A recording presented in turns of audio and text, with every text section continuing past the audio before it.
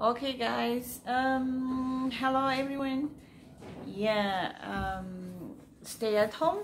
That's the the, the, the things that we need to do to overcome this uh, coronavirus, so that we can uh, be I'm wearing a rainbow. I'm wearing a rainbow heart top. You see that rainbow heart hmm. here? Right here.